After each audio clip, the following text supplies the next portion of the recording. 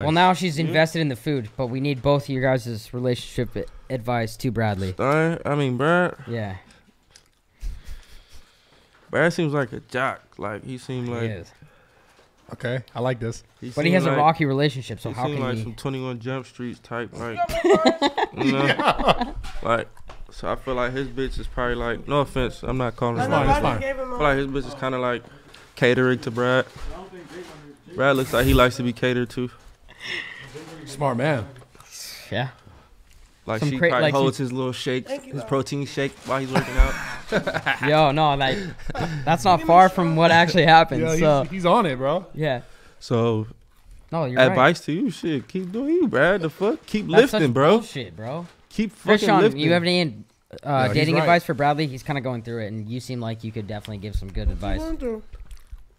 It's typical stuff. Typical stuff. trying to figure it out. Well, I just pray for your well being, and I pray that you prosper through it in Jesus' name, amen. Thank You're you. gonna be good.